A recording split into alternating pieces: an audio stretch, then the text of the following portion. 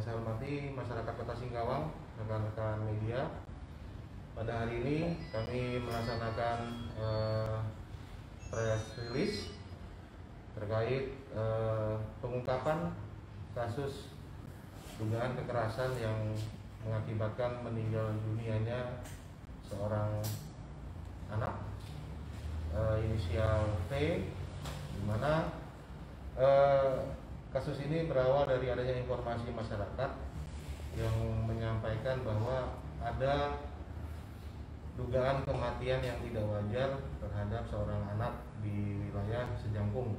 Kemudian petugas kami mendatangi lokasi dan di lokasi eh, bahwa benar ada seorang anak yang sudah meninggal dan kondisinya sudah dibersihkan, sudah dipakaikan dengan pakaian yang bagus dan siap untuk diberangkatkan ke yayasan. Pada saat itu eh, ibu tiri korban menyampaikan bahwa yang bersangkutan meninggal karena sakit atau step.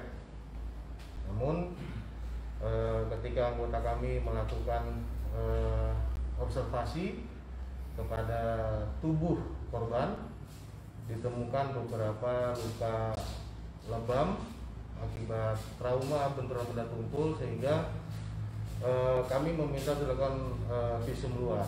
Awalnya ibu korban juga tidak bersedia, namun tetap kami berupaya dan eh, pada tanggal 27 November ibu tiri korban resmi kami lakukan penangkapan dan penahanan. Kenapa kami melakukan penangkapan dan penahanan?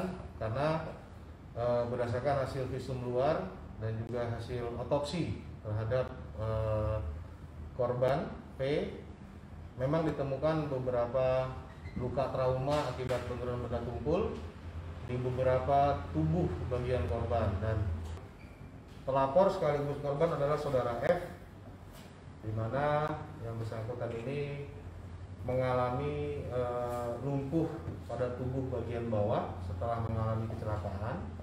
Kemudian ketika yang bersangkutan sedang e, dima, dibantu untuk mandi oleh keluarganya, tersangka atas inisial AP ini e, melakukan perbuatan tidak senonoh atau tidak pantas dengan cara mengintip kemudian merekam.